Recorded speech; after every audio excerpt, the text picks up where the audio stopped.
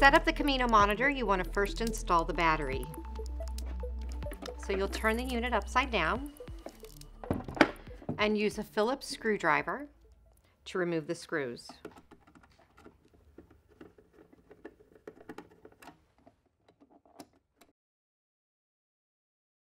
And now we'll insert the battery.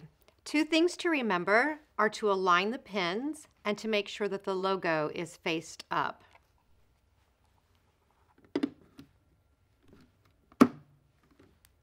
And then you can replace the cover.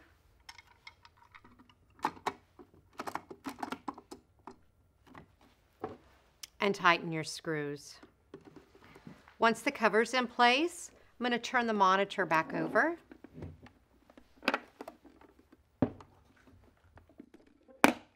And then we're going to set up our power cable. So you'll want to have your power cable with the appropriate country adapter in place.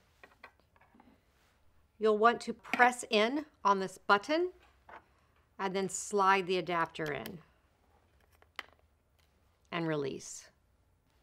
Then to attach your cable to the monitor, you'll use the cable with the red and place it into the red port. You'll see there's arrows here. You just want to align those arrows and push in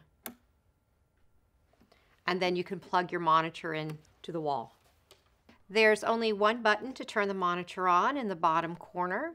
So when you press that button in, you'll see that the monitor will go through a self-test. Takes about 40 seconds for it to complete that test. And then you'll hear an audible tone and you'll know then that your Camino is ready to be used and that your speaker is working appropriately.